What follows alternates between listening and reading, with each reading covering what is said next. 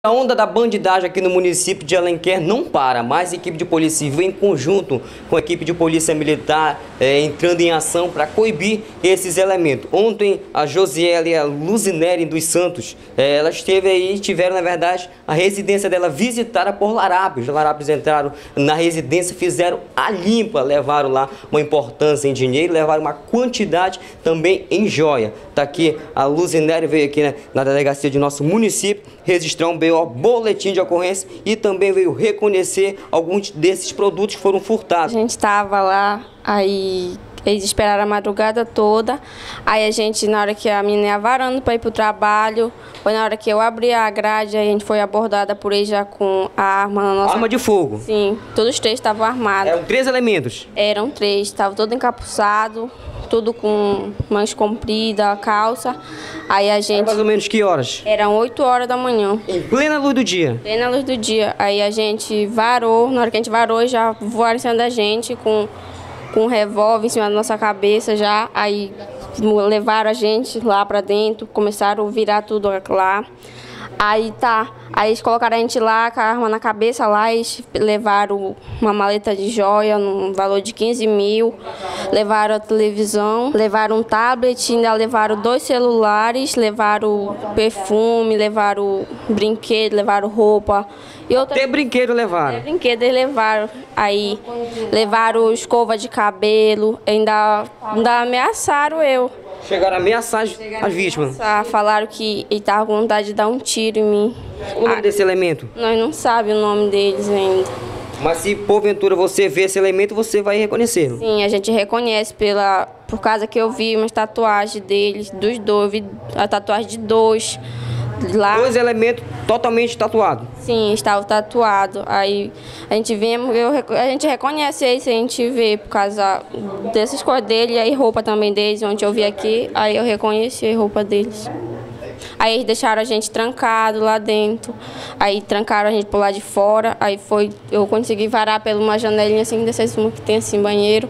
Aí eu consegui, quebrei com martelo os vidros, varei, que eu até me peguei ralado por aqui nos vidros. Os elementos prenderam vocês dentro da própria residência? Sim, prenderam nós dentro da própria residência. Aí eu consegui varar por, pelo uma janelinha bem pequena mesmo. Aí eu consegui varar e foi pedir ajuda lá para fora e foi lá na minha casa da minha mãe. A gente pedimos, falamos para lá e foi que a polícia foi lá e Acionou imediatamente a polícia? Sim, foi. Aí eles ameaçaram a minha irmã de morte e a filha dela. É, gente, você acompanhando o nosso programa, daqui a Luzinere, situação lamentável, né? Sim. Foi inesperado. Eu estava no banheiro escovando meu dente, quando eu escutei foi o grito das meninas lá e eles invadindo cadê a joia, cadê o dinheiro, que eu sei que ela guarda aqui, que a gente foi informado que ela tinha dinheiro aqui, tinha joia. Quer dizer que eles falaram que já estavam informados que tinha joia na, na, residência. Tinha joia, tinha dinheiro e queriam tudo lá e reviraram tudo que não era pra gente ficar fazendo zoado, senão eles matavam a gente, era melhor a gente colaborar. Aí botou as meninas em cima da cama lá, para as meninas lá. Aí eu digo, meu Deus, vai, vai estuprar as meninas. Eu, e eu esqueci que eu estava operada, varei com tudo lá do banheiro e o outro me abordou bem na porta do banheiro, saiu com a arma na minha cabeça, me empurrando. Eu levei um, um carote desses de água mineral no pé. Eu tô operada, não, tô, não tem nem mês de operada. Ele saiu. Nunca tinha acontecido isso com você? Nunca, nunca. Eu tô em pânico e eu fiquei assim. Eu digo, meu Deus, vai matar minha filha, vai jogar ela de cima da cama, que é essa bebê. Aí eu fiquei lá, ele fez a gente virar tudo de costa para não olhar para a cara dele. Ninguém olha para a cara. Totalmente armados os elementos. Totalmente armado, com a arma na cabeça.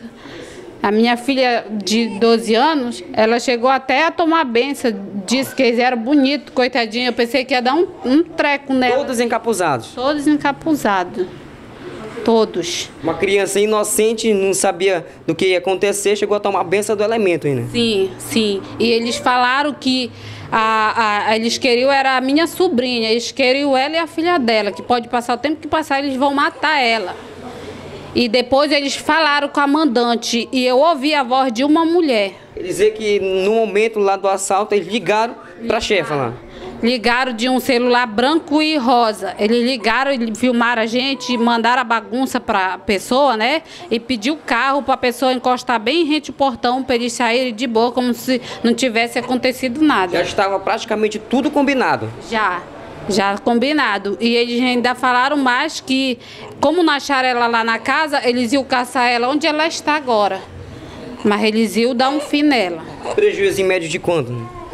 De 15 mil em joias e televisor e muitas coisas mais lá. Fizeram praticamente a limpa. Fizeram o arrasto, limparam tudo que tinha. Aí, gente, você acompanhando o nosso programa Conectados na TV, uma situação lamentável, né, gente? Não quiseram ser identificada. A nossa produção respeita, né, gente? Até porque estão em pânico. Essa é a verdade. Esses elementos, por volta de 8 horas da manhã de terça-feira, dia 14 de agosto de 2018, entraram lá na residência no bairro da Independência da Josiela e também é, dessa cidadã que não quis é, ser identificada, a Luzinere da Silva, que está aqui na depósito do nosso município, veio reconhecer alguns desses produtos que foram furtados ontem, terça-feira, dia 14 de agosto, lá no bairro da Independência. A equipe de Polícia Civil, em conjunto com a equipe de Polícia Militar, fizeram algumas apreensões é, de elementos, também conseguiram capturar, recuperar, na verdade, alguns produtos de furtos. Elas vieram aqui na depósito do nosso município reconhecer esses produtos de furto e também reconhecer alguns desses elementos que foram apreendidos, que já estão aqui na depósito do nosso município, ao comando da Justiça.